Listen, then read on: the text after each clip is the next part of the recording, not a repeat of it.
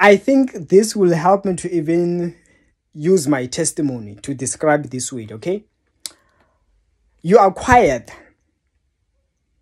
and they think that you have they have won.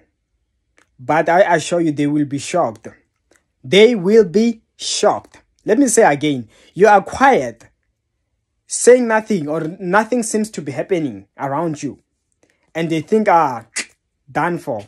Do you see anything? Then out of the blue, oh my God. They say, what? Listen, I, I, I remember a time where I would be quiet on social media and I'd be like, I know that there are some people who don't like me. And I'd be like, I haven't posted anything to show that uh, my life is exciting and all. And sometimes that thought will come that oh, some people will think that uh, things are bad in your on your side, whether it's financially and all your life. Maybe uh, I remember sometimes when you some you too quiet. Some people ask, "Are you still alive? Haven't you seen those instances?" The more you become quiet, people begin to assume, "What's going on? Why is this person no longer? Are they okay?" And their enemies think of the worst things that they can think of. But then I remember when I was no longer so active. Then out of the blue, I didn't know as well. But somehow, somehow God opened up the ways and I was able to buy a car. I remember when I bought a car, when they saw it, I was like, oh my God. I'm sure that some who were starting to doubt, starting to look down on me, they are shocked that what? So it means this guy, when he is quiet, it does not mean that things are bad things are still going on. It's just quiet, but it means nothing.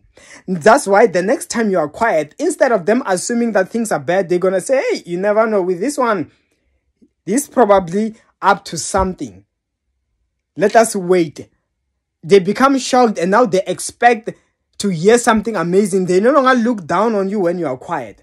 And in Jesus' mighty name, let me tell you that when the Lord Jesus was quiet, he was on the cross, they killed him. It seems like they have won.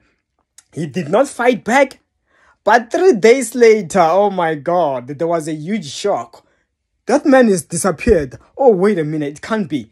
Maybe they stole his boot. Like a lot of things, they got shocked. And the Lord says, Don't you force things to be there when they are not there.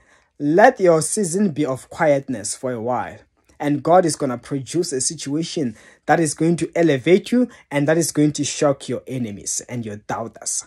I pray for you receive the breakthrough, the surprising, shockingly blessing and breakthrough of the Lord right now. Amen.